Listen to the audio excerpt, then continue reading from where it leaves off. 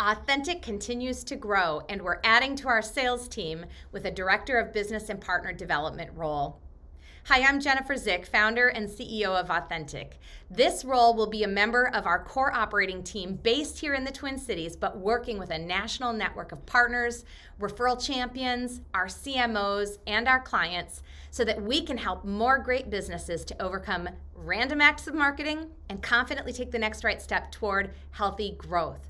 So, if you're an experienced professional services business developer who understands the deep trust required to break through with executive relationships and would be excited about the opportunity to enter at ground level with one of Minnesota's fastest growing businesses and a named best place to work, then we would love to hear from you.